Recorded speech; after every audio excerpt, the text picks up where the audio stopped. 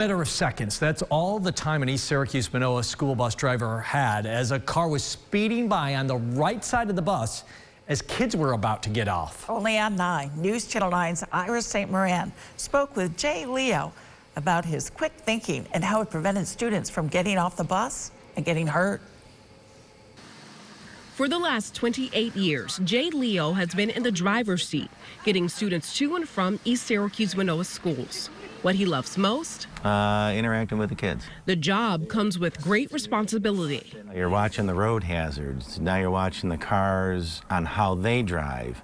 You always have to be visual of everything around you, not just what's in the bus. Last Thursday, Leo was on Collamer Road dropping off two students, Lily and Lincoln, when a car driving behind the bus caught his attention. I happened to see the car was coming to the side of the bus, passing us on the right.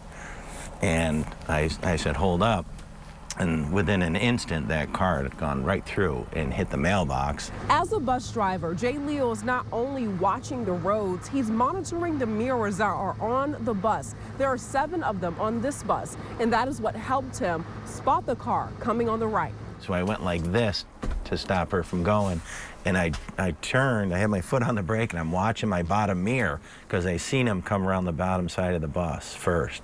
And then I watched in the big mirror, and then next thing you know, he's right by us. A, a very quick action that had a lot of thinking that had to go into it, but resulted in lives being saved. And he did everything right to keep our kids safe. For Leo, it's good to know that I've helped someone, and I try to help someone every day.